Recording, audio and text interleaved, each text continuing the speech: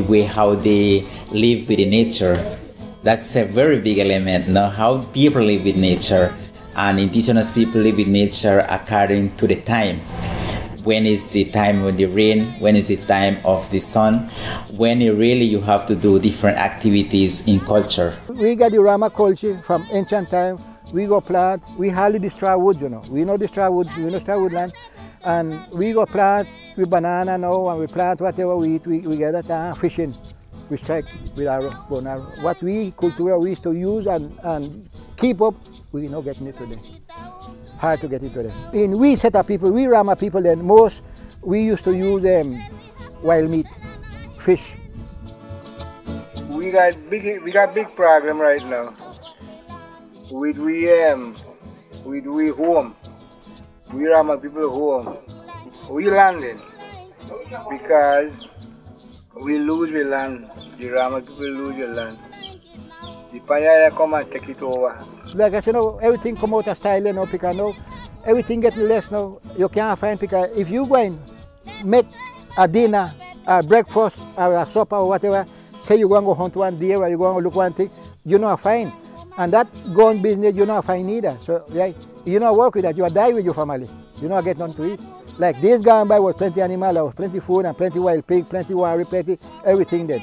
So the people now used to perish there. But that yes, they never used to kill one pile, they only kill what they might use, say one or two for the, for the week or for the month. Then when them done tired, they then go fishing, then go and catch a fish and then eat that. And when they done, then go look maybe some other thing over from the sea, then go strike a turtle and then got it just so then. But everything go by them. And that's what the culture did. The language is one of the biggest element for culture.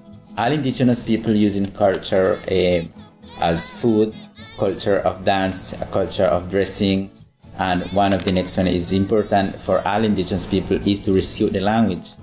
The Rama people in 1980, when had been working for rescuing the language, thanks for all those who speak the language at the moment. But we have lost it, a couple of them um, many years ago. Um, we have Miss Nora, who was the beginning of the Rama language in the Caribbean coast of Nicaragua, also for the indigenous people, for the Rama people also. Young generation learn, learn the Rama language, for not for last.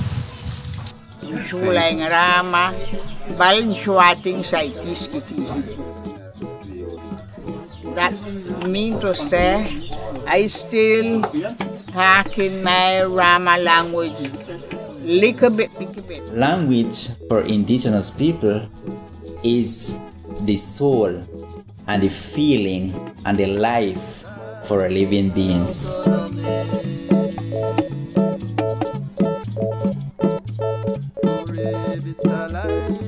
Our culture.